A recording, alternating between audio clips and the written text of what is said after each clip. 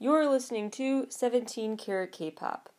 For more information about the variety of topics covered on the show, as well as my other podcast, How to Stan, visit 17caratkpop.weebly.com. And if you enjoy this episode, please consider becoming a monthly donor to support my work and allow it to continue to go on and be free for all to access for as low as 99 cents a month. Visit the support the show link on my site's homepage for more information. Hello, everybody, and welcome back to 17 Carat K-Pop. It's time for the monthly roundup of the top 20 best new K-pop, J-pop, and C-pop releases of the month. Before I get to the top 20 countdown, the usual disclaimers I must repeat.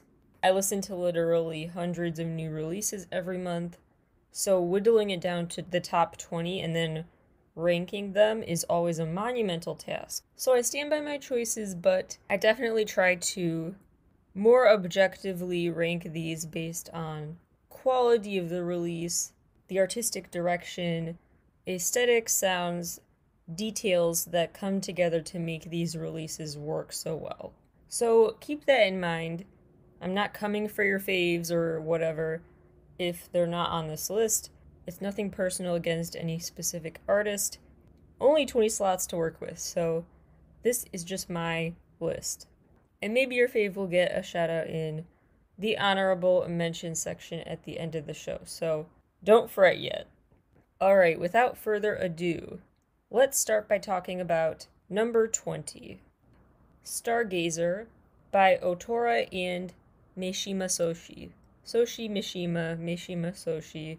It would be read in the flipped order in Japanese. It feels very fast. It feels like a song that is only two minutes, but it's the normal length of a song. It's not shorter than your average song. It just has that feel to it. It is so fast paced and intense, like you're in a chase scene or something. And often when I'm choosing what gets in this top 20, I like to look at music videos and things like that, and of course, lyrics. But sometimes the lyrics don't even have to stand out too much. The music video can be relatively boring, and I'm fine with that. And this is one of those cases. Sometimes just a great song is just a great song. Something about the ingredients that went into that song just work. And this is one of those songs. It's spectacular without even trying. It uses auto tune and electronics to really change their voices in fun and interesting ways. And before you get on my case again too much about raving over auto-tuned voices and my argument that there really is a unique, impressive art form to certain auto-tuned vocals. It can be its own instrument in a way. To electronify your voice, it's actually still can be pleasing to the ear, so why not support that? For those of you on my case about that argument, please know that actually, Sean Lennon, the John Lennon son, said that his dad probably would really love the fact artists are auto-tuning their voices these days. He said, quote, not so much to fix your voice, but just to play with it, unquote. He actually said his dad didn't like his own voice and tried to change all the fade in effects and stuff because he wanted to just change up his voice because he didn't like the sound of it. And there really are psychological reasons why we can't stand the sound of our own voices. That's a talk for another day, but I'm just saying musical legends even support treating auto tune kind of as its own instrument. They might actually prefer hearing a different quote unquote unreal version of their voice. Anyway, this is one of those songs that artfully uses autotune. Number 19. Heartfelt, spelled H A T F E L T, unclear why, but it is pronounced heartfelt, featuring Kim Hyo Un on the song Summertime. There's something about this solo artist's stage presence and her demeanor, not even stage presence, but presence in general, that really is just this effortless charm and this effortless grace. And she just has that it factor where she sings in a very casual way and her voice just kind of flows through songs, but she doesn't have a boring presence either. So this song really is just kind of to just casual listeners of her music, just another good song from her. But I honestly think it's a standout for the same reasons La Luna was for her, because certain songs they don't need much, but her voice is like with number 20 on my list. It just needed that one it factor to convince me to put it on this list. For that, it was the use of instruments. For this one, it's her voice. That's all that's needed. It really just embodies the song's theme of summertime, as does the music video. She's just very alluring, and she has this gorgeous blonde hair and cute clothes. She's just an it girl on her own.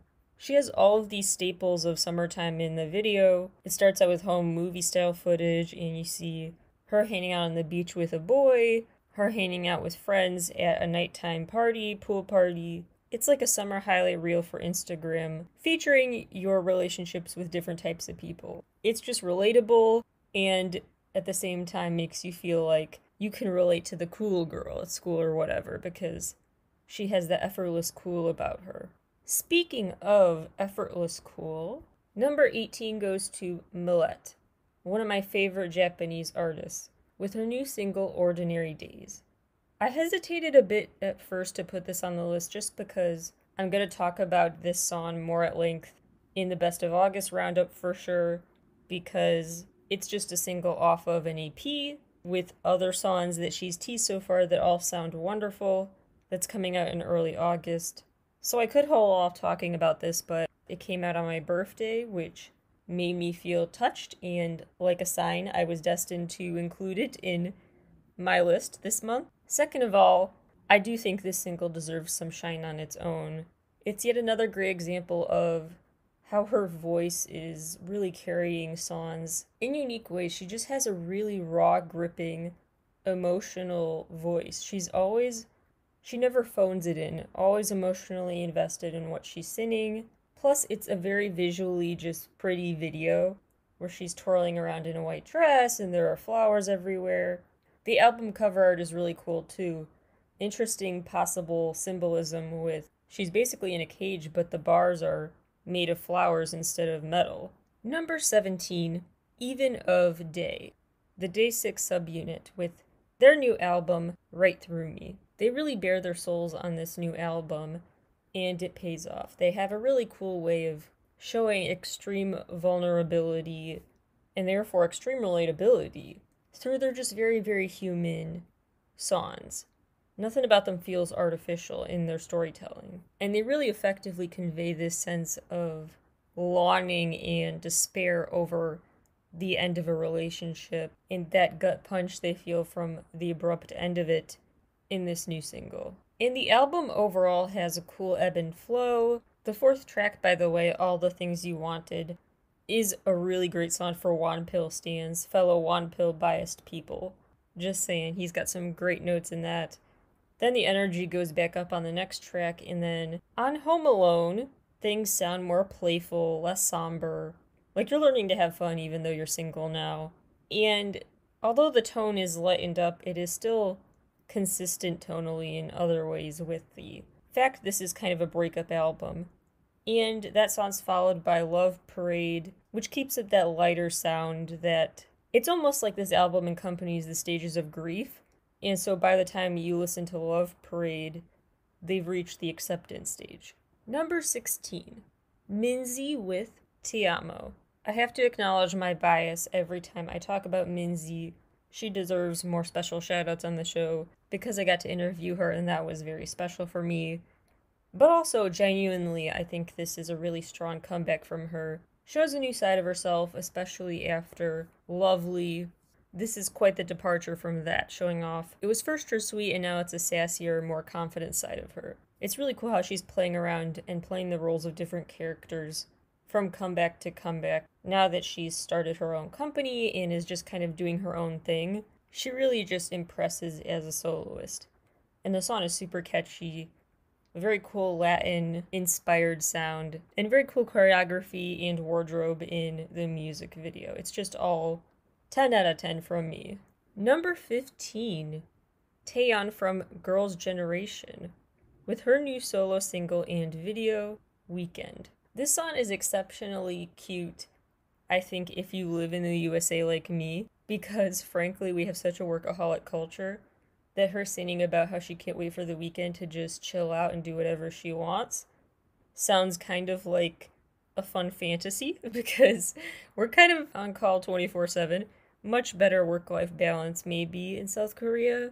I don't know. I'm just. I'm just saying it's an interesting new wistful listening experience if you're in the USA. anyway, but it is a very cute song about the weekend and the visuals are on point. It is a Barbie dream world, Barbie airplane setting. It is an adorable doo wop era wardrobe and some other eras too. It's just very funky vintage Barbie vibes. Very, very cute. Number 14. Nicholas Tse with Confrontation.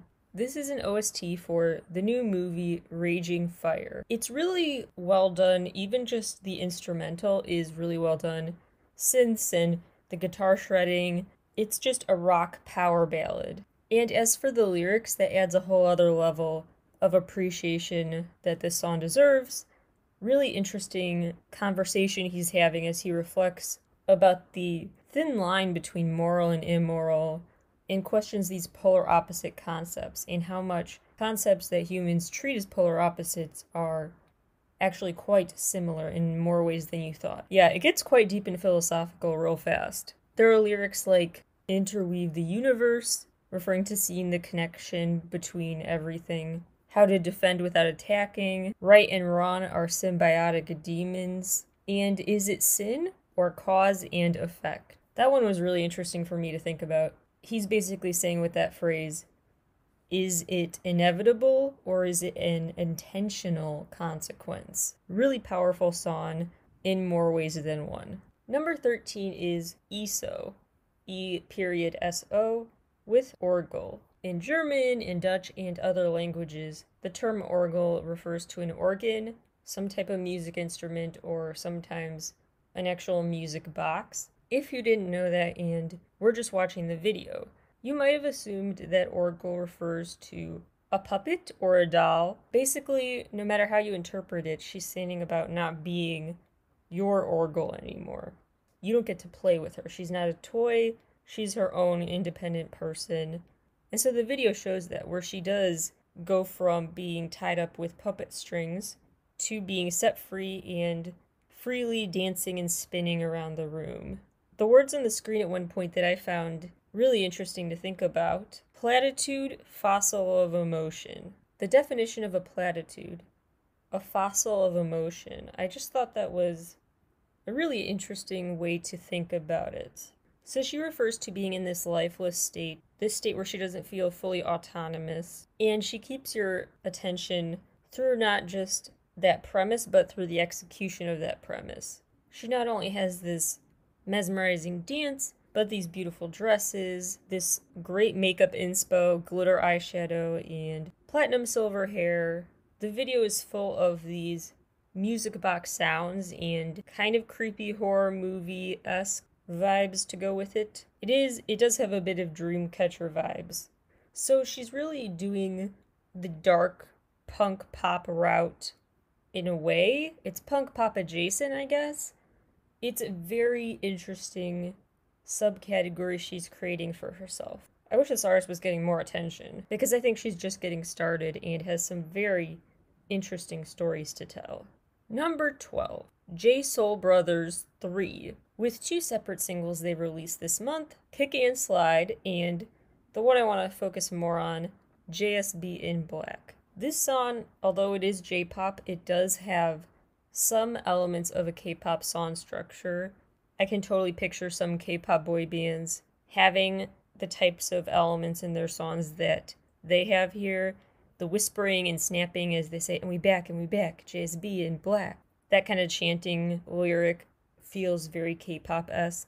All the other sound effects they throw in there to build up the atmosphere, like clinking glasses and other things that help you visualize the scene. It sounds a bit like Super Junior music or Gorilla by Pentagon.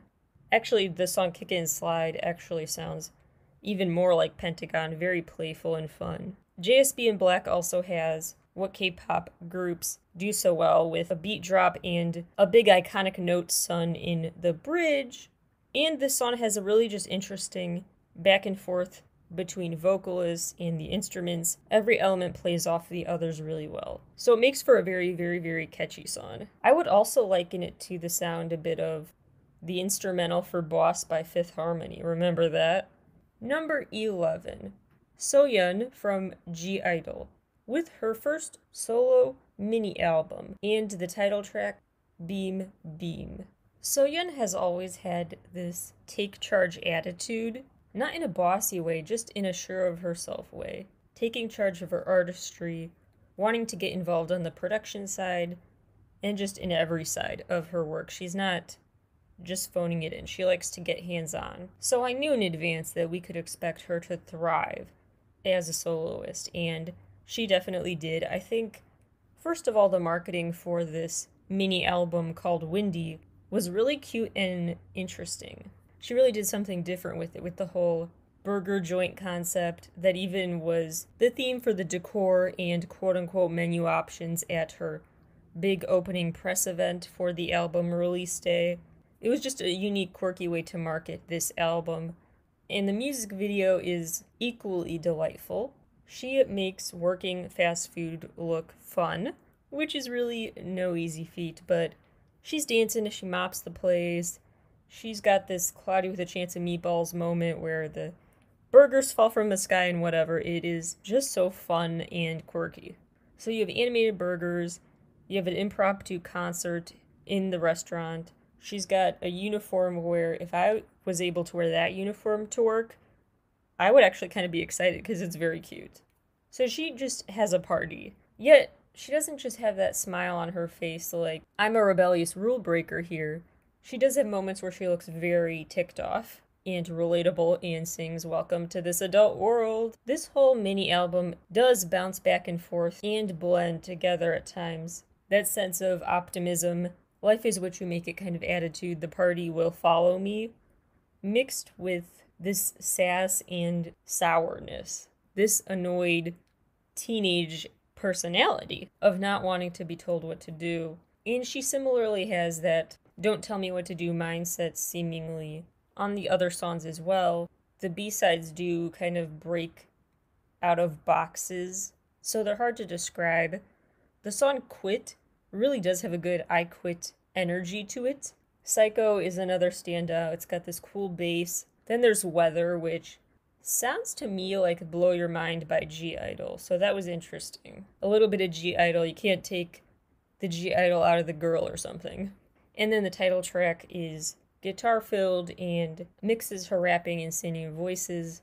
It's quite an eclectic and very cool lasting impression, a very standout debut solo album of hers. Number 10, Kingdom, with History of Kingdom Part 2, Chiwoo, and the new single Karma. This is a great way to pick up where Chapter 1 in their History of Kingdom album series left off. Very consistent, got some interesting traditional instrumentals, and they're telling quite an interesting historic story, aptly. It makes for a very historical fiction drama esque music video. And there's a similar intensity and suspense brought into the B sides as well. Eternity really has big blockbuster OST vibes. Really emotional, lets their voices shine. Then on Magical, the instruments take the spotlight. And Make Us is a song I would say that it goes back to letting their voices be the shining standout component. There's this rad bass in Warning. It's overall just a very solid body of work. Fun fact Chiwoo is actually this mythical warrior who controlled the weather during battles, and he was nicknamed this god of war. I definitely feel like this band deserves their own video game world at some point. Number nine, AKMU with next episode. I personally was very, very impressed by this release, and I think it's one of their stronger ones throughout their whole career. It's really cool what they've introduced through this new album this new upside down alternate reality of sorts. Those music videos share a setting in that upside down world. So it's really interesting. It feels like they really are starting a new episode, as they say, a new TV season for their music video world. They've entered this new portal of sorts, and this wonderland of sorts that they are stuck in really is cinematic. Like, the Nakka video is kind of scary because I'm a baby, but also because it just features so much falling through different settings, through different stories. And then Soohyun sitting next to the giant hole in the ground looking chill, like she's not worried, like I would be. I would be scared of, out of my mind, but. And then she has this shy little mischievous smile on her face, controlling time, freezing time in the TikTok, TikTok, TikTok video. The whole Wonderland vibe I get from it is just really interesting. These music video characters of theirs are both shockingly calm, considering the bizarre circumstances that surround them, and smirking. And even just through their vocal delivery, they're playing the role of people in charge who are sly and know how much they are messing with other people's heads. So they are both the out of control and totally in control, faking being out of control, manipulative characters here. But if you want to look at them as characters that are more just moral, it is a really cool, interesting, sweet theme for this album they described in a press conference for it. Chanhyuk said, quote, I used to have a big ambition to change the world with our music, but I realized changing everyone is not what we want. The world is beautiful because of its diversity, and I now wish our songs can help those who are ready to change take the next step. Unquote. And because this album is about embracing a new chapter in your life, they decided to theme it around a concept they call transcendent freedom. Quote, an extraordinary power that goes beyond our physical limits, being free from any external influence. Even if we hit the bottom, such fact will not affect us. Unquote. Their title track actually was inspired by The Greatest Showman, and they say, quote, however deep down we fall, if you're beside me holding my hands, nothing will matter. Unquote. Number 8. D.O. from EXO. With his first solo album, Empathy. He knows where his sweet spot is vocally, musically overall, even aesthetically. He kept up what made That's Okay so sweet by keeping his music video animated in some ways. A lot of 2D and 3D merging in his video featuring his bike ride through a picturesque town. Very, very cute. And it's a sweet song he wrote himself, Rose, the title track. Just very fun, sweet, easy listening. This album really does let his powerful, yet sweet and gentle voice shine as it was meant to. Number 7. Shota Shimizu. Again, with Japanese artists, sometimes it's pronounced the other way, right to left, but I just say Shota Shimizu because if you want to look it up on Spotify or whatever, that's what you would look up in English to find it. Anyway, his new album is called Hope, which I am so touched by. Obviously, a tribute to me, and obviously, why it's on this list. But aside from that, I do think it also just has merit, regardless of its title. It really is a well done album, and it's kind of this overall lo fi vibe that I think would cause him to gain a bunch of fans if it was marketed wider and correctly. And J pop artists have always had this happen where the promo is, I guess, big compared to what it used to be, but not big at all compared to the numbers you see on videos for K pop stars. But anyway, this underrated mid tempo album constantly goes back and forth between those lo fi vibes and more emotional ones. He takes expected sounds at this point on artist albums, like a tropical house beat is always in there somewhere these days, like for Tokyo Night, but he does something different with it. He's got a beautiful ballad with Aimer, and overall, I think this is a good album to check out if you're an AOMG artist fan. All the AOMG artists are different, of course, but they have their own routes, their own their own subcategory of music in a way. So he's kind of in that lane with them. The standout track is the title track. They chose correctly with Curtain Call, which features Taka from One OK Rock, another favorite Japanese artist of mine. Curtain Call is a really fun song to just kind of sway to and sing along with someone. As they do, they just sit in an auditorium in the video together and sing together about waiting for their big time to shine, which, long story short, they finally get to after putting in the work. At the end of the video, then they are on stage. It's time for their curtain call moment. Number six, Alexa, with Extra and the B side Obsession. This is a very fun, refreshing comeback from her because we've known for a while now that she's playing two roles in her music video universe the evil AI filled world that feels very apocalyptic, and then a more fun, playful, quote unquote, normal Earth existence. And for so long, release after release, we've gotten to know the dark world. Now we get introduced to her quote unquote normal world. And this parallel world is so refreshing and needed for her character. It's just so much lighter, and we were ready for that. Everything about it is more playful and fun, from her hot pink hair to the very Y2K wardrobe and sound of the song. Definitely tapping into that nostalgia factor that's so popular in music and fashion nowadays, but doing it in a unique Alexa way. It's very cool to see her character, her other character, and be introduced to her other character in a way that is just very bright and colorful and different from past releases.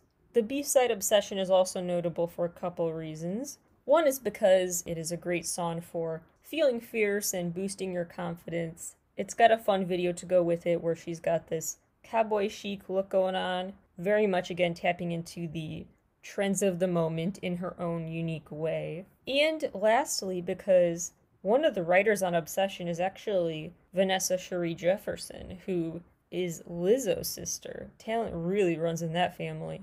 Number five, BTS for their new single, Permission to Dance. This song was a gift from Ed Sheeran to them, and also iconic because of the Elton John shout out and Elton John seal of approval. It's such a lively video.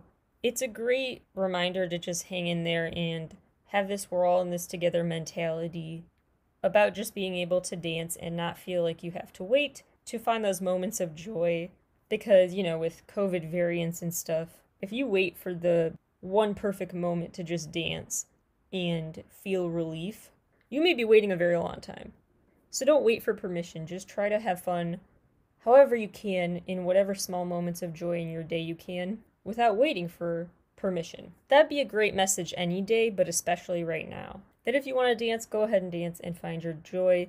Don't feel guilty about that. And that's kind of what BTS talks about a lot with the purpose of them making music at all is to give us moments of joy or comfort in our day. Fun fact actually, when they were making this music video, the dance, the med- mega dance with the crowd at the end of the video, that scene that feels like a B roll was not scripted. They just all started to keep dancing together. Very much the spirit of the song was alive and well on set. I also love what Yoongi said about the lyrics here, saying that, quote, falling is scary, but landing isn't.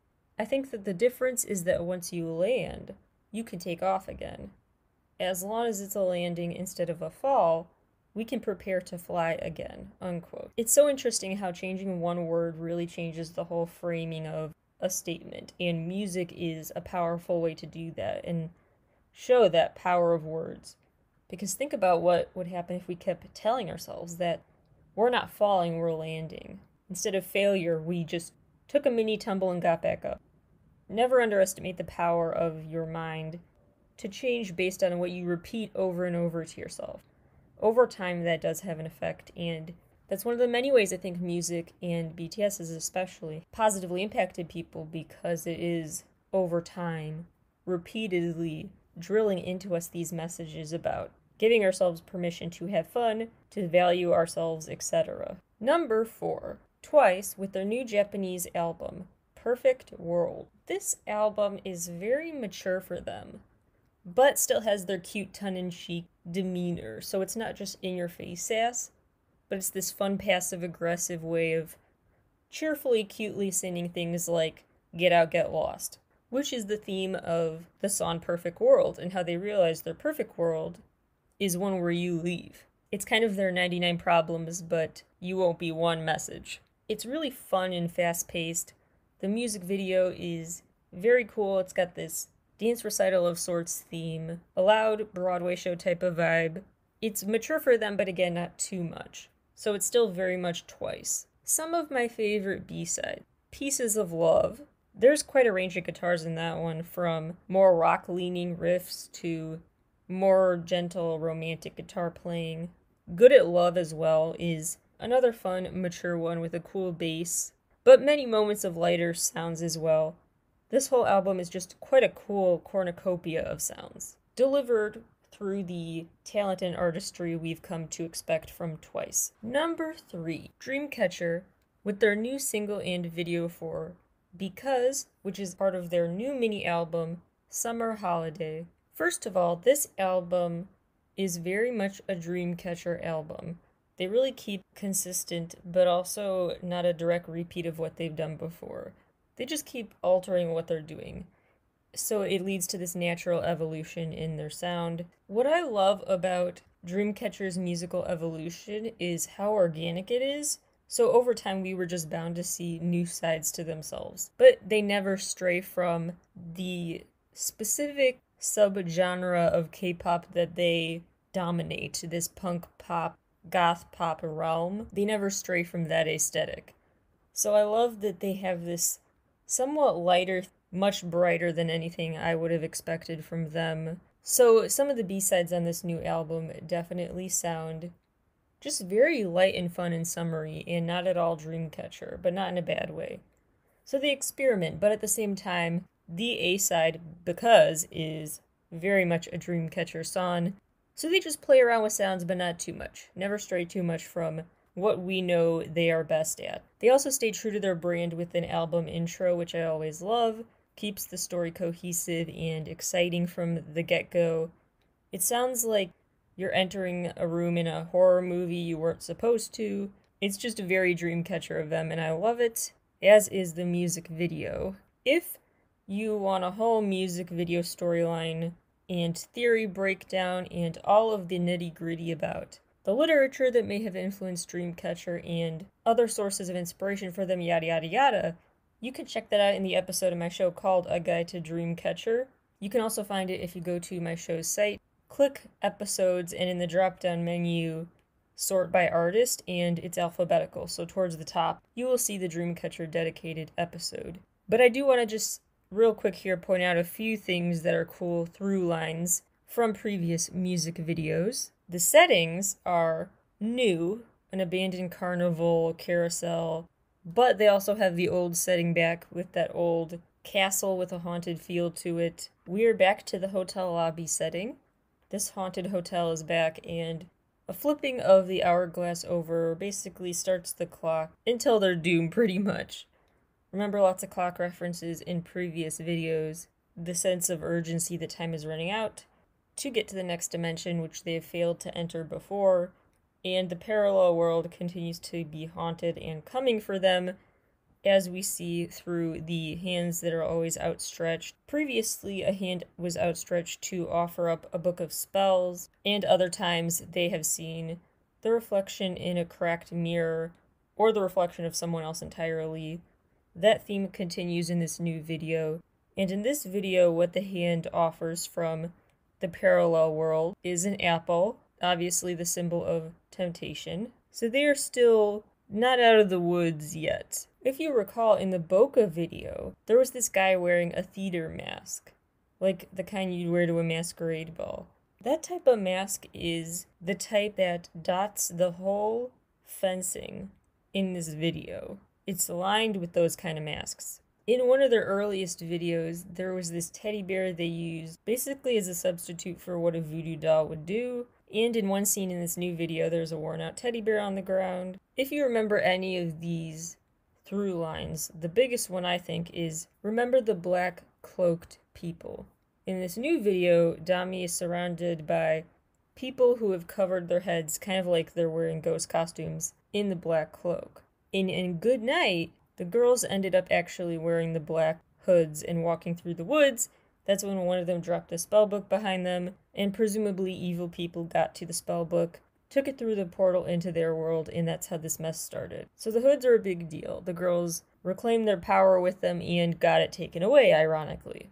The girls were back in the black hooded outfit in the Scream video as they were walking away from the tree with the portal inside it. And now apparently this black hooded costume now belongs back to the opposing team from the Dreamcatcher members, who are surrounded by who knows who once again.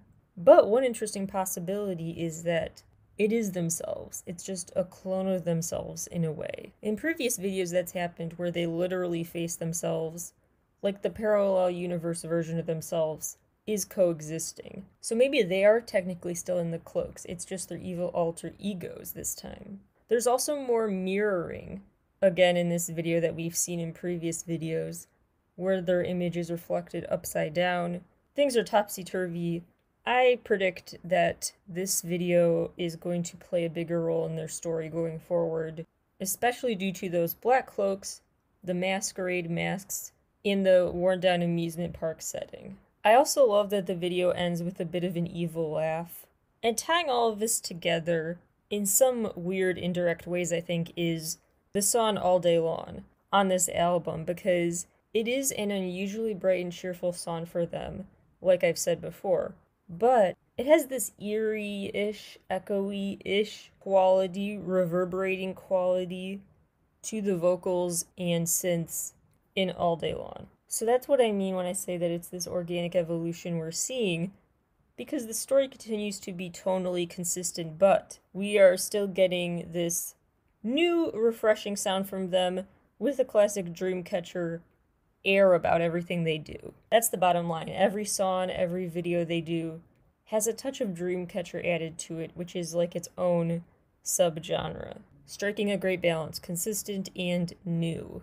Number two, FIR Mandopop slash C Rock Extraordinaires with their new album Diamond Heart. This is a really, really rich album. The layers of instruments, strings, guitars, it is just loaded. It is just sonically immersive, just so well produced. Definitely, I would check out Splendid Dream, one of the singles off of this album, if you want an extra unique, genre defying song.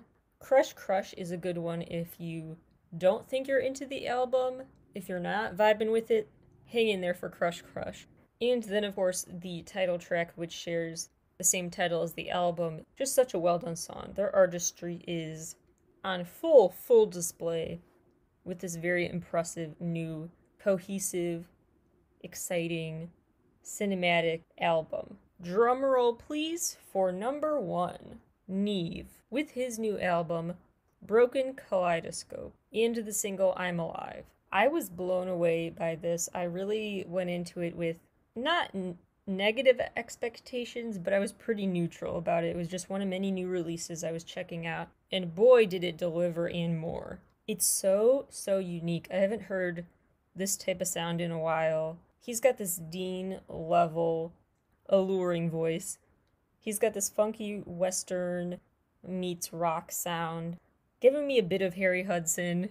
If you want a K pop context here, the B side Trigger by WOODZ, that's a pretty good one to put on this playlist as well with this album. It's really, really unique. And the title track is really just a stomping good time, literally. And this album mixes guitars with his super unique voice, snapping, clapping, stomping, tambourines. It is a big Western throwdown soundtrack mixed with a rock concert mixed with a bunch of other things I don't even have the words to describe. Really, really cool, unique project from him. I do have some honorable mentions, as always. I've got to shout out the new Taemin performance video, Just Me and You. Beautiful as always. Lee Daehwi from AB6 has a really cool new performance video for Creep. Unknown Kun, again, I have to acknowledge my bias for interviewing him, but his song H and S and T has an acoustic version out now, which is cool to see because, again, I've talked about the positives of using autotune, but he actually stripped back all that and decided to just prove to us he does that because it's fun to play with his vocals, but he doesn't need it. He does have raw talent. And so that was refreshing to hear. And ENHYPEN has released the Japanese version of the Given Taken music video, which is equally cinematic to the Korean version of the video. I also like the new song on their new Japanese EP, Forget Me Not. Monsta X continues to deliver as well. They have a song out now that is just a little bit extra by being called Kiss or Death. They stay in the same aesthetic realm that they have lately. Gambler vibes continue, James Bond type of look. It was also really exciting when I saw Kihyun with the pocket watch again because if you've been following their music video storyline, that is one of the, if not the most key symbol Jinyoung from GOT7 recently surprise released a solo song called Dive.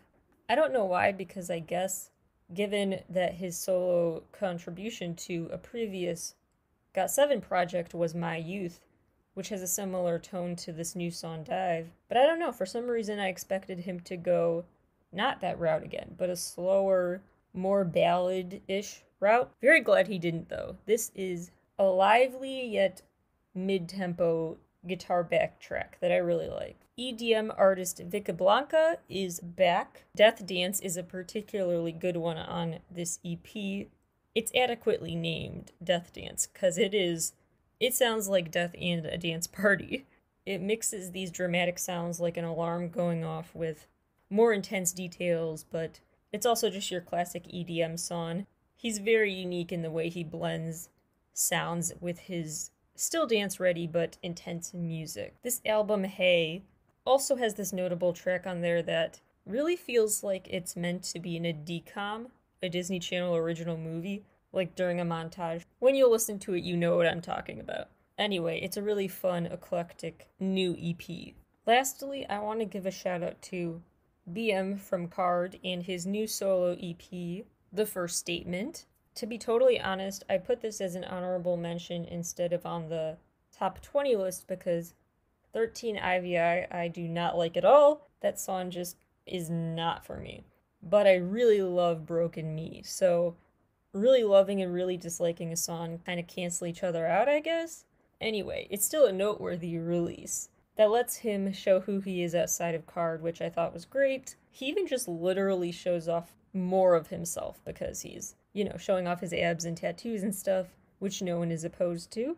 Clothes make the man, they say, so tattoos have got to make the superstar. But at the same time, he shows a more honest side to him through Broken Me. It's really, really open and vulnerable about inner demons, and so I really respect that and relate to it. My favorite lyric has got to be Broken memories remind us of the beauty of the bliss.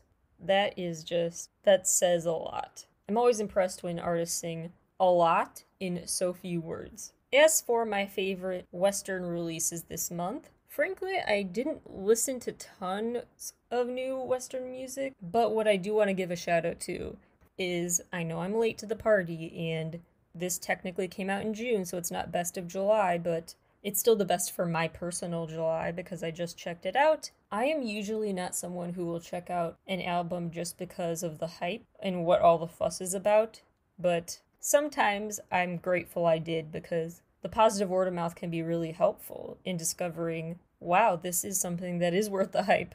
I'm going to join the hype. And I feel that way about Bo Burnham's new comedy album. Not comedy, just joke telling. It's music, but it's comedic music and it is exactly my sense of humor.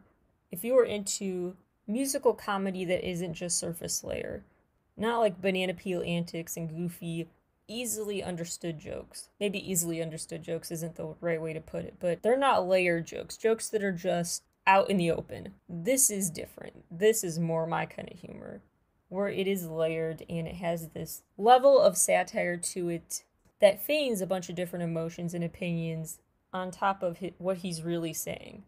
So the social and political commentary in it, I just think, is really delivered impressively and in very catchy ways. That's the other thing about comedic releases is there are tons of parody songs and satire songs that I can respect and think you did a good job delivering your message, but I personally wouldn't put it on a playlist with quote unquote real songs. But his I actually do. I've had it in my head all week, frankly. Welcome to the internet. I mean, that's a perfect summary of internet culture and what it feels like and how our brains are being changed by social media. Comedy is a great song for complicated feelings we have surrounding wanting to help and also feeling like the ways we're trying to make the world a better place are actually not doing anything concrete.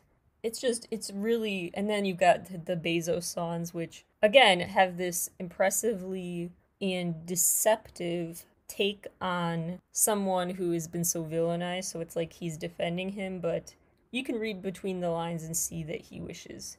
Income inequality was not the way it is. Anyway it's it's very effective messaging.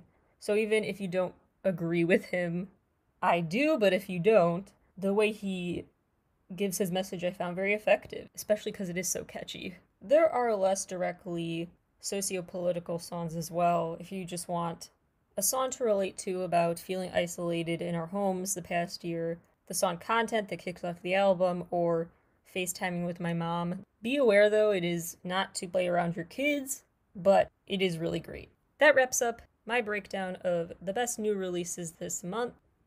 If you read the Best of July blog post on my site, 17caratkpop.weebly.com, go to the blog section. If you click more in the drop down menu, click blog, click posts, you'll see it there. You can find links to and further commentary about every song I talked about today, commentary on the top 20, and then playlists including honorable mentions, YouTube video playlists, and Spotify song playlists for these songs so you can check them out. I will also link to in that piece relevant interviews and other episodes of the show, any sort of link that goes off of what I talked about today. Thank you for listening to my takes today, and I will talk to you all again very, very soon.